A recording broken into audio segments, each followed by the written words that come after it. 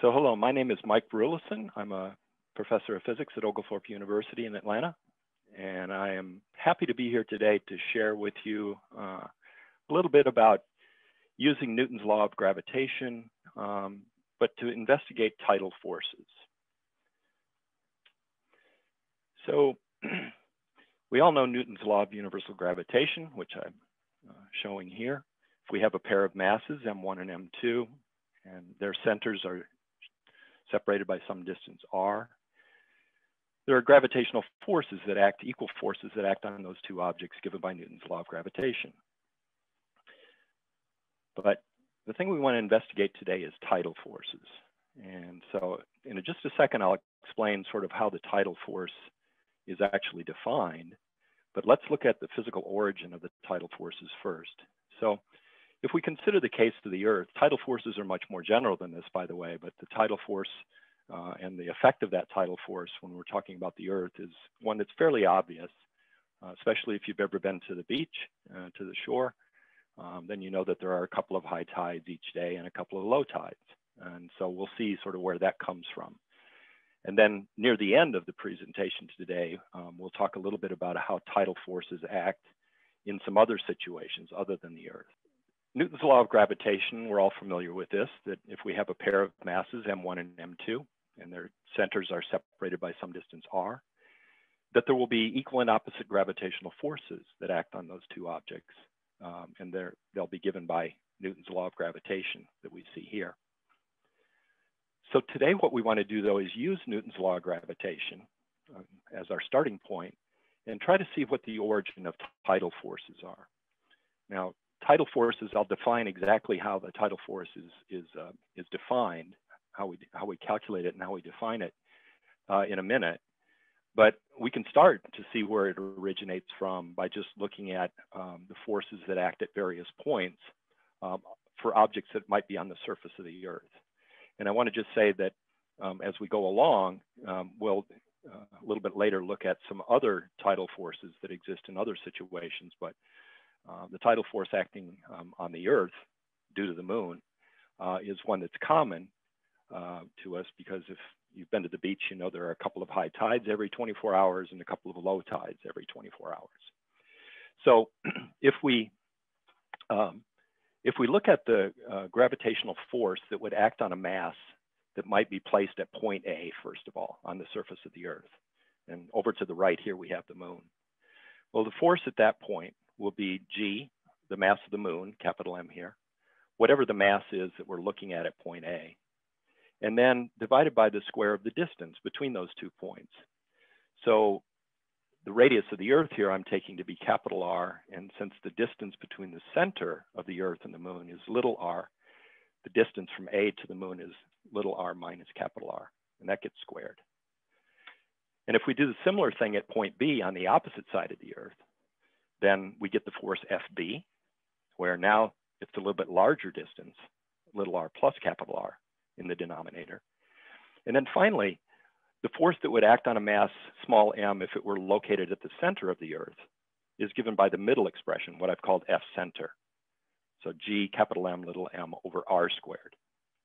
Okay, and because of the different size of those three denominators, you can see that the gravitational force at A is larger, gravitational force at B is smaller, and then the gravitational force at the center of the Earth would be intermediate between those two. So for these next couple of slides, I've reproduced that diagram at the top just so we can keep track of what I'm referring to as point A and point B and so on. Now, because the radius of the Earth is very small compared with the distance between the Earth and the Moon, the diagrams are obviously not to scale here. Um, what that means is that in the denominators of our two expressions for the force at B and the force at A, if we factor in r squared out of that denominator, then we get the uh, expression that, that, we see in the middle here. Um, so g capital M little m over r squared, but then times this 1 plus little uh, capital R rather over little r to the minus 2 power. And because uh, capital R here is small compared with uh, little r, uh, that ratio is small then we can use the binomial approximation for this factor to the minus 2 here. And what we get is 1 minus 2 capital R over little r, plus higher order terms that are going to be very small. So we're going to ignore those higher order terms. Doing the same thing at point A, uh, where we have a slightly different denominator, the same process, factor out a little r squared, use the binomial approximation. Uh, the force at A is approximately g capital M little m over r squared, and then times 1 plus 2 capital R over little r. And again, higher order terms that we will uh, neglect for right now. So these are approximate expressions for the forces at B and A, but they are extremely good approximations because the moon is so far away compared with the radius of the Earth. So now let's define what the tidal force actually is. Um, as it is commonly used, um, the tidal force is the difference between the force at a particular point and the force at the center of mass of the Earth. And of course, when we talk about objects other than the Earth, it'll be the force at the center of mass of whatever that other object is. So in this case of the Earth, the tidal force at A over on the right-hand side there, um, the first term that you see, that's the approximate form for the uh, gravitational force at A that we just um, found on the previous slide. And then we're subtracting off the gravitational force that acts at the center of mass of the Earth. That's the G capital M little m over r squared term. And when we take that difference, two of those terms cancel each other out. And what we're left with, voila, is 2 capital G capital M little m capital R, which you remember is the radius of the Earth, divided by the cube of the distance between uh, the Earth and the Moon, the centers of the Earth and the Moon. And if we likewise do the same thing at point B, uh, the only difference being that sign inside the parenthesis there, again, we get two terms that cancel each other. And in this case, the force is minus 2 capital G, the capital M, little m, uh, capital R over R cubed. So these are the tidal forces then that we have at points A and B. And notice that they have opposite sign, okay? Uh, the one at A is positive, and the one at B is at uh, B is negative rather. So what I'm showing here then is what those tidal forces are. And so the one at A, uh, being positive, points toward the moon. Uh, the one over here at B, being negative, points away from the moon.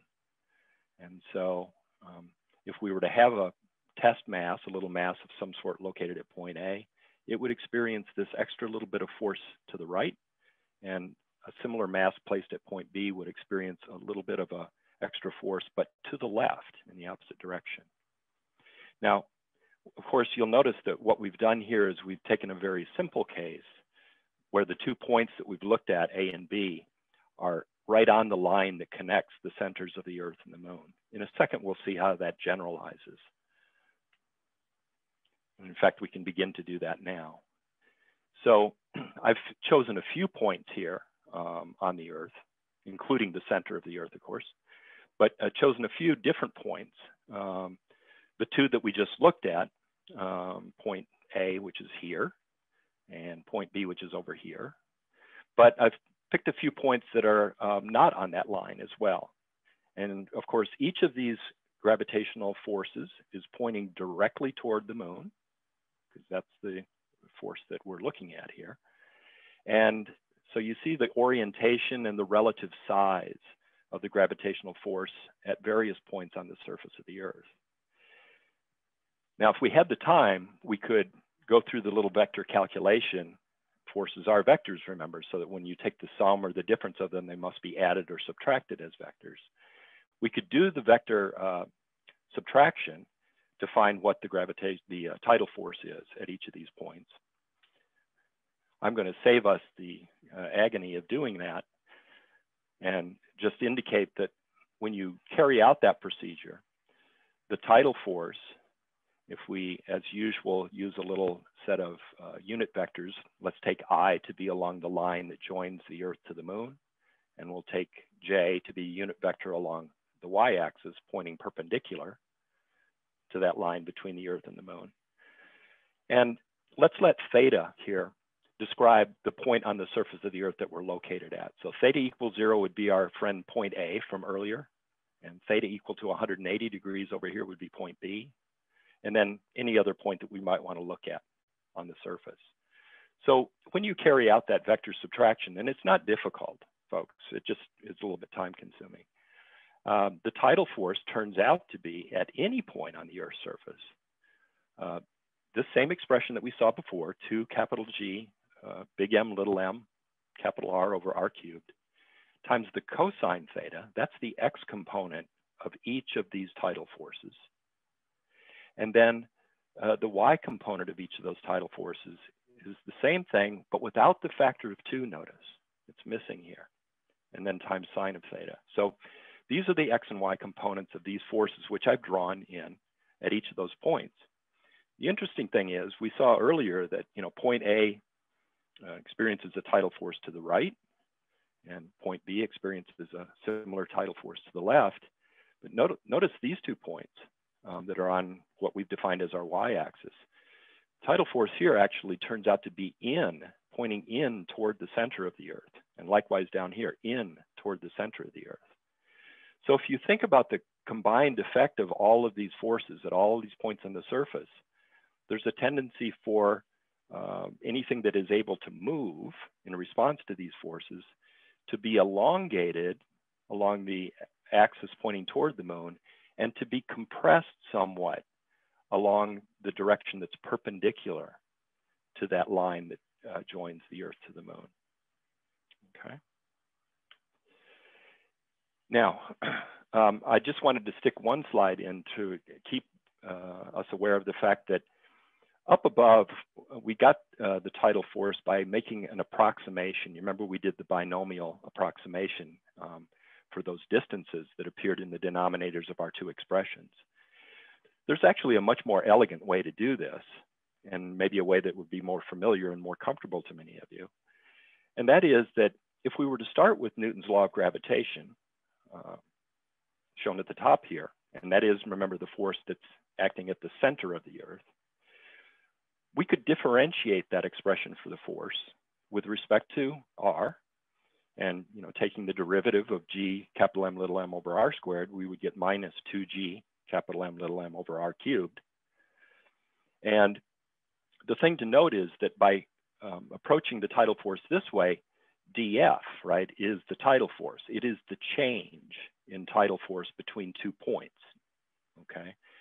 And those two points would be points that are separated by a distance dr, okay, from each other. So at what we called point A up here originally, okay, we'll still refer to it that way, dr, the, the difference in uh, the r value is minus capital R because we've moved from here, okay, from the center of the Earth, this direction, okay, we've decreased the radius by an amount capital R. And so if we uh, take dr here, in this case to be negative r, move that over to the right-hand side, there's our tidal force, that we've same force that we found before by the approximate method, here obtained by taking the derivative. Likewise, at point B, over on this side of the Earth, dr is plus r because from the center we've moved an additional distance. We've added a distance, capital R, and so when we multiply the right-hand side here by capital R, we get our tidal force at B of negative 2g mm capital R over little r cubed. So this is perhaps, uh, this method perhaps is more, a little bit more elegant. Uh, always nice to use calculus when you can. Uh, but either way, uh, we arrive at the same expression for the tidal force at those two points. Now, the next thing I'd like to uh, show you is that the same size tidal force can arise for a variety of different reasons. So what I've done here is constructed a graph that shows just an inverse, the inverse square force of gravity. So GMM over R squared, Newton's law of gravitation. And let's suppose we want to look at a tidal force of a particular size. Now keep in mind how we define tidal force. It's the difference between the gravitational force at two points. So let's say we want to look at a tidal force that's this big, okay, corresponding to two vertical uh, divisions on my graph. Well, on this part of our uh, graph of Newton's law of gravitation, these would be the two points that are separated by that amount, right? And notice that they are very close to each other, right? They're not separated by very much distance horizontally. Whereas if we look for the same size tidal force down here at the bottom part of the graph, again, two units vertically, so that we're comparing equal size tidal forces, that force would correspond to this point and this point way over here. So this would be the same tidal force, but this corresponds to an object or to two points that are much, much farther apart from one another. So the bottom line here is that we can get the same tidal force for a small object that's very near to whatever's producing the tidal force, or by looking at a very large object where the points on the surface are separated by a large distance that is very far away from the source of the tidal force. So there's sometimes is a misconception that the tidal force is only large if you're near, you know, whatever the object is that's producing that tidal force. And that need not be the case. Tidal forces can still be significant and can be large, even when we're far away, way out here, as long as the object that we're looking at is large, is physically large. Okay. Now, a lot of numbers here, but what we want to uh, take a look at is just uh, the comparison in the sizes of some tidal forces and also a comparison of the size of the gravitational forces. So just so we're all on the same page with regard to what this table is showing, what I'm calling the source object is the thing that is producing the tidal force. The affected object is the object that the tidal force is acting upon. And then the two columns on the right here are, we'll look at what the tidal force per unit mass is, and also though what the gravitational force per unit mass is, okay? So let's consider three cases. Um, the, the familiar one that we've been talking about, the moon produces a tidal force on the earth. So we've got the mass here of the moon, we've got the radius of the earth, the distance between the earth and the moon. Those are the things that we need in order to be able to calculate the tidal force. And so when we calculate this force per unit mass, we get uh, 1.1 times 10 to the minus 6. Okay. Now, the Earth, though, produces a tidal force on the moon as well. Right? So if we look at that, um, Earth has a much larger mass. The moon, though, has a smaller radius, but they're separated by the same distance, of course. And so the tidal force that the Earth exerts on the moon, you'll notice is about 20 times bigger than the tidal force that the moon exerts on the Earth. And we'll see in a, uh, shortly what the consequence of that has been in terms of how the uh, solar system and more particularly how the Earth-Moon system has evolved over time. Finally, because of what we're going to look at on the next slide, I wanted to also um, go ahead and calculate how much of a tidal force does the sun produce acting on the Earth? So the sun's got a whopping big mass, a million times bigger than the Earth's. And uh, here's the size of the Earth again, the separation between the Earth and the sun. And so the tidal force that the sun produces on the Earth is this value that you see here, 5 times 10 to the minus 7. If you compare it with the moon's tidal force on the Earth, so the top uh, column, or the top row rather, and the bottom row here, you'll notice the sun's uh, tidal force rather is about half of the moon's tidal force. Keep that in mind when we look at the next slide. This last column, just want to mention it briefly. This is not the tidal force, but rather just the pure gravitational force, Newton's law of gravitation um, that would act on a unit mass. And notice that um, the moon's gravitational effect, 3, 3.3 times 10 to the minus 5. Um, and down here in the last row, the sun's gravitational effect, though, on something on the surface of the Earth, 5 times 10 to the minus 3. So this, even though the sun's gravitational force is nearly 200 times stronger than the moon's, the moon's tidal force is twice as big as the sun's tidal force. Okay, so tidal forces, because they depend on the cube of the distance, and the gravitational force itself depends only on the square of the distance, that's what accounts for this, uh, this difference between these two uh, right-hand columns here. So if we're purely talking about gravitational force, yeah, the sun's the more important thing. But if we're talking about tidal forces, the moon turns out to be the more important of the two. Now, keeping in mind that both the sun and the moon exert tidal forces on the earth, that gives rise to two sort of extreme cases for tides that actually occur. So what we're showing here is uh, the earth, the moon over here, and the sun.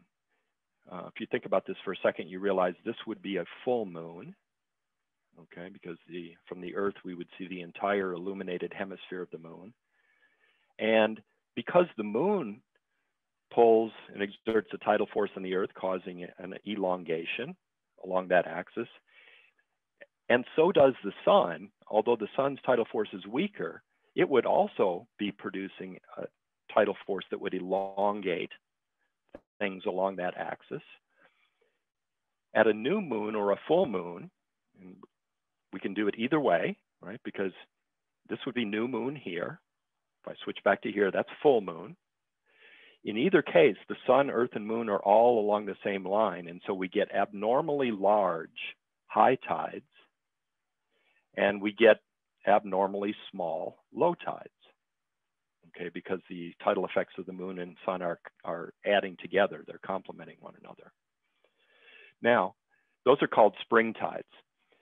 If we look at the opposite extreme, when the sun, moon, and earth are arranged this way, basically at right angles to one another, and this would occur when from the earth we see a half moon, we would see half the moon's disk illuminated and half of it dark.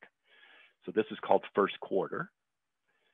Well, now the moon is trying to elongate uh, things along this axis by its tidal force. But the sun is working against that by trying to elongate things along this perpendicular axis. The moon is still the more important one, as we saw on the table a few minutes ago, because the moon's tidal force is larger.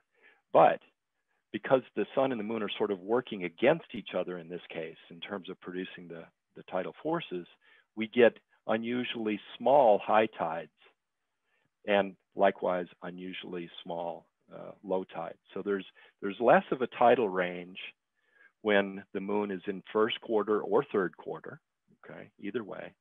And there are larger tides between high tide and low tide um, when we're at full moon or at new moon. Those are the spring tides. So spring tides and neap tides can both be understood just by looking at the, um, how the uh, tidal forces of the sun and the moon add to each other. Okay, now finally, um, a few examples of tidal forces and their consequences um, elsewhere, besides in the case of uh, the, the Earth and the Moon. So one of the moons of Jupiter, um, it's one of the, the four moons that Galileo discovered back in 1610 when he first turned a telescope to the sky. Io is one of those four moons, and it's actually of those four large moons that Galileo discovered, um, it is the one that is closest to Jupiter.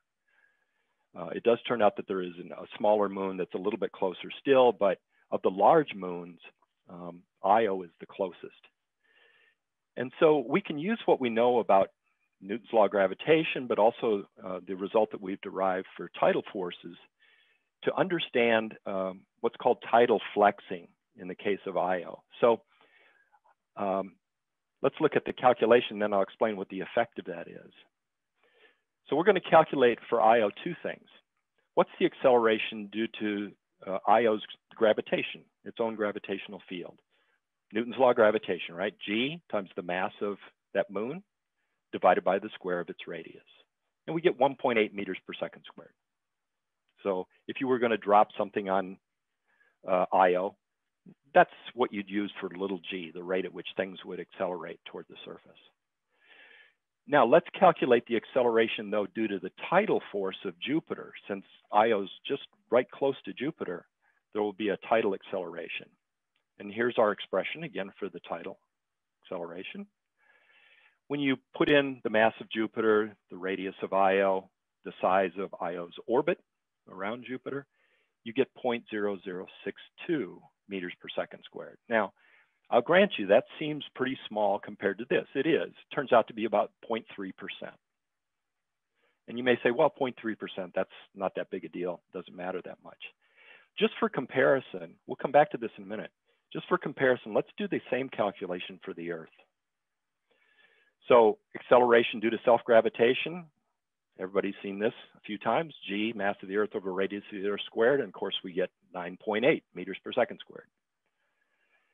If we calculate the acceleration due to the tidal force of the moon acting on the Earth, putting in mass of the moon and so on, we get 1.1 times 10 to the negative 6 meters per second squared. That ratio is 0.0000111%. So you, although this 0.3% up here might have seemed small, you can see that it is really quite large, relatively speaking. It's way more there's way more tidal effect on Io than there is tidal effect on the Earth. Now, the consequence of this is that as Io orbits around Jupiter, it is stretched and compressed, okay, by this really, as we've tried to argue here, quite large tidal force. And that flexing causes heat. And that heat is one of the things that keeps the interior of Io in a molten state. And this is the reason that um, we see volcanoes taking place um, on the surface of Io. Um, if it were not flexed by these tidal forces as it orbited, uh, there might still be some volcanism. Not saying that there wouldn't be, but it probably would not be as extensive as it is. And so the outer part of the solar system, of course, very cold out there, far from the sun and so on but this tidal flexing is adding some heat constantly to the interior of the planet as it gets stretched and compressed and stretched and compressed. Um, another uh, thing that we can understand pretty easily um, is that these tidal forces that we're talking about actually change the orbital dynamics of objects. They change how, how objects uh, not only orbit, but also how they rotate. And let's see if we can understand this. It's actually, at least qualitatively, it's pretty easy to understand. So what I'm showing in the diagram, and then we'll look at the text over here. So here's the Earth with its tidal bulges, okay? And the moon over here, which is causing those. Now the Earth is rotating, right, on its axis. So rotating in this direction, let's say. Well, the thing is that Earth's rotation period, 24 hours, is a lot shorter than the moon's orbital period, which is a month, right? It takes a month for the moon to make one trip around the Earth, but it only takes 24 hours for the Earth to rotate once. So what that means is the friction between the, the Earth's oceans and the surface, the solid surface of the Earth, as the Earth rotates, it drags that tidal bulge with it a little bit. And so you'll notice this tidal bulge does not point directly toward the moon. It's off at an angle like this as the Earth's rotation carries it around.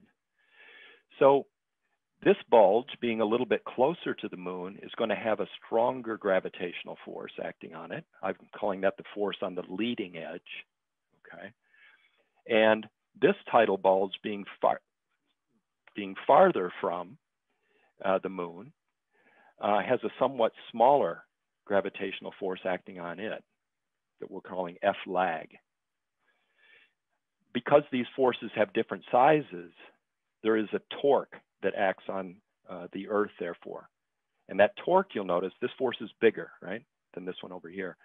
So that torque is in the clockwise direction, which is against the direction that the Earth is actually orbiting, uh, or rotating, I should say, on its axis. So that torque is slowing down over time. It's constantly slowing down the rotation of the Earth. And again, it's a small effect in human time scales at least. It's slowing down the Earth's rotation by about two milliseconds every century. Now, you might say, well, two milliseconds in a century, that's nothing. But um, over geologic sorts of time scales of millions, tens of millions, even billions of years, that two milliseconds per century adds up to a lot. So at earlier times in Earth, in the history of the Earth Moon system, the Earth used to be rotating much more rapidly than it is. And the other uh, consequence of this uh, difference in the, in the tidal forces is this. Don't forget Newton's third law. If this is the force of gravity that the moon exerts on the Earth's tidal bulge, then that tidal bulge exerts an equal and opposite force right along this line on the moon. And likewise, there is a Newton's third law partner to this force here, a little bit smaller, right along this line. If you add those two forces that act on the moon due to the Earth's two tidal bulges, you get a net force that is not quite along the line that joins the moon to the Earth's center. It's slightly ahead, as I've shown here. And what that force that's slightly ahead of the uh, line connecting their centers does is it causes the moon to speed up in its orbit. And in as it speeds up, it moves farther away from the Earth. So two things are actually happening, both as a result of these tidal forces. The Earth's rate of rotation is slowing, and the size of the moon's orbit is growing, okay? And it grows by actually about three centimeters per year. The moon gets about three to four centimeters farther away from the Earth every year as a result of this effect here. You might notice, by the way, if you think about those two things together, that what we're really seeing here is conservation of angular momentum. So as the Earth slows down in its rotation, it has less angular momentum. But as the moon speeds up and moves farther away from the Earth, its angular momentum increases and because the Earth Moon system is basically isolated, we'll forget about the sun for right now, because it's isolated, we should have the uh, angular momentum of the system should be conserved, and indeed it is. Okay. So Earth's rotation rate was much faster and the moon was much closer in the distant past. Okay.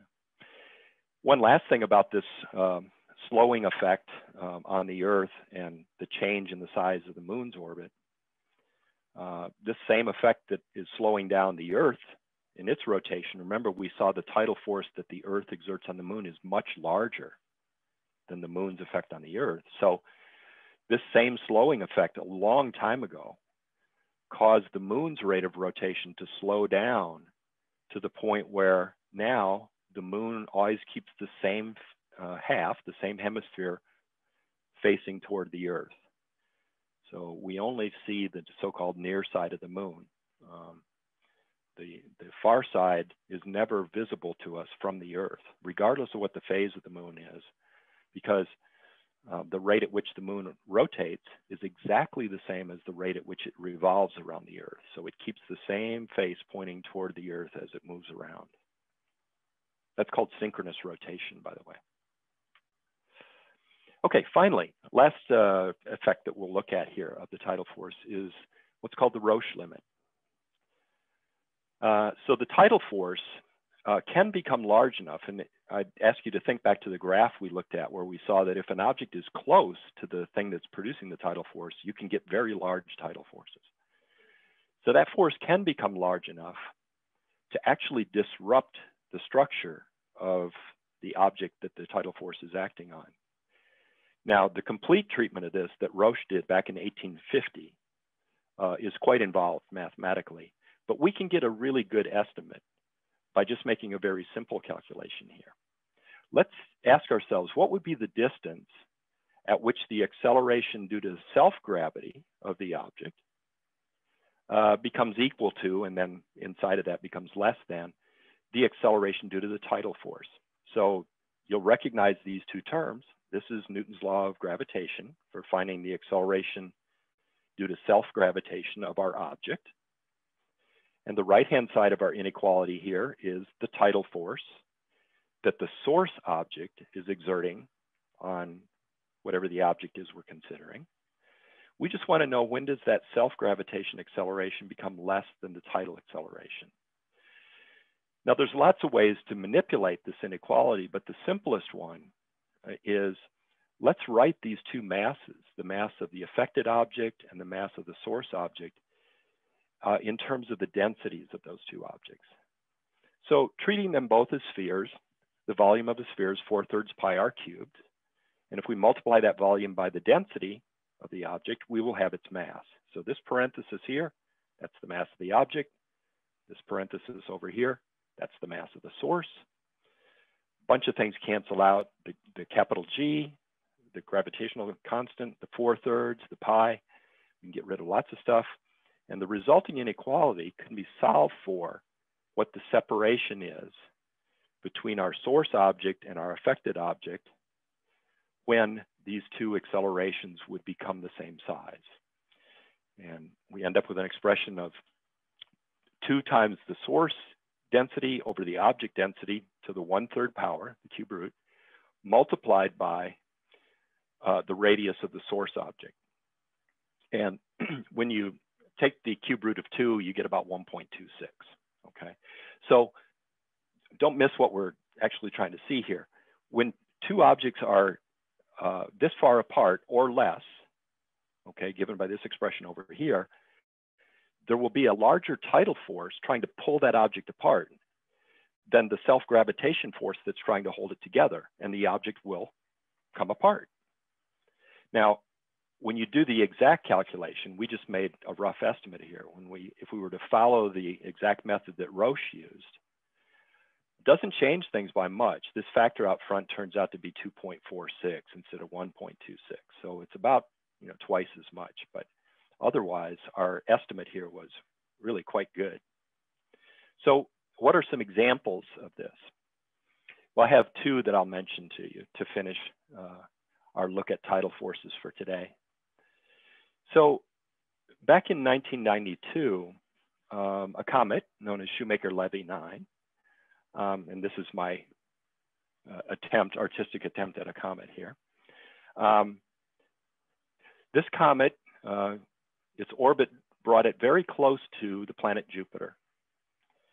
And on July 8th of 1992, in fact, the distance that the comet was from the center of Jupiter was actually well inside of the Roche limit for Jupiter. So over to the left here, you can see the calculation. Here's our equation from the previous slide. Jupiter has the density of about 1,326 kilograms per cubic meter. And comets being big dirty snowballs, they're basically just combinations of ice and dust and stuff like that. Comets have a density that's approximately 500 kilograms per cubic meter.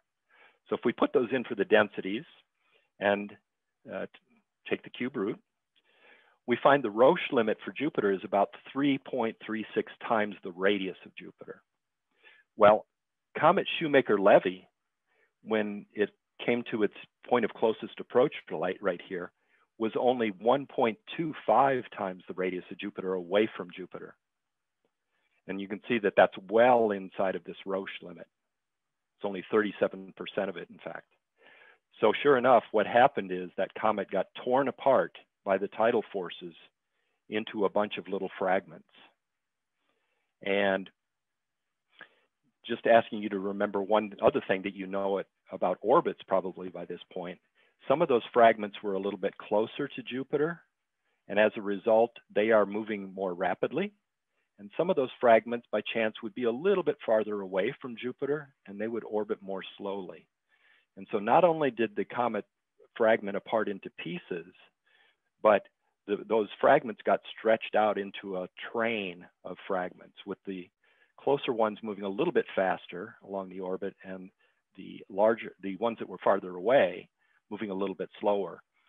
So as they continued to move along this path here over the next couple years, they stretched out into a string of fragments and almost two years later, in July of 1994, over about a six day period of time, actually, these fragments, one by one, crashed into uh, the upper cloud layers of Jupiter and made some easily visible, actually through telescopes, some easily visible uh, you know, marks uh, within the upper atmospheric layers of Jupiter.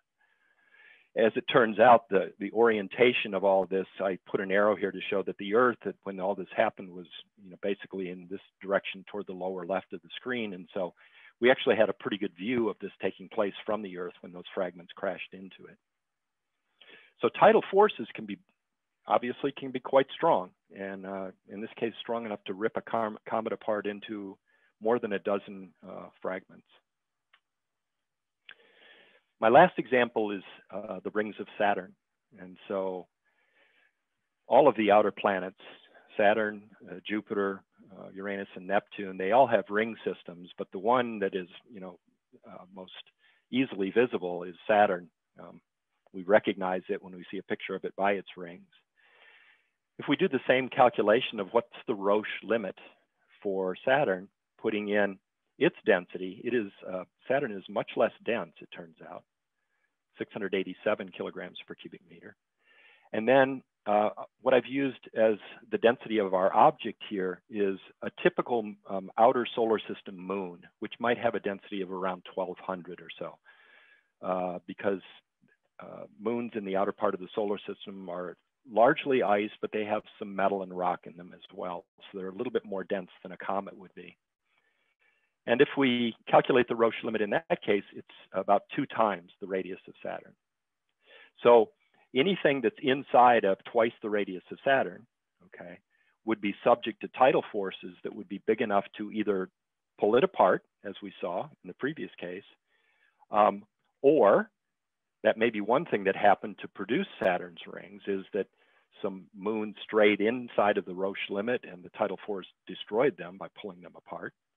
Or maybe the material when the solar system formed, perhaps the material that was in orbit around Saturn because it was inside of the Roche limit, was never able to coalesce into moons because the tidal forces were strong enough that they kept those fragments from uh, condensing into moons with inside the Roche limit. So it turns out if you look at them, the rings, most, not all of them, but most of the rings of Saturn actually lie within this uh, distance here, this Roche limit. And all of Saturn's large moons uh, lie well outside of this distance. So those are a few of the uh, effects of some tidal forces and um, how the tidal forces originate in the first place. There's much, much more to be investigated here. And um, you certainly, I think, now have the tools to be able to maybe investigate some other effects of tidal forces on your own. But I hope that you found this uh, interesting and useful and in some way connected with what you've been looking at in class. Thank you so much for your attention. It's been a great pleasure.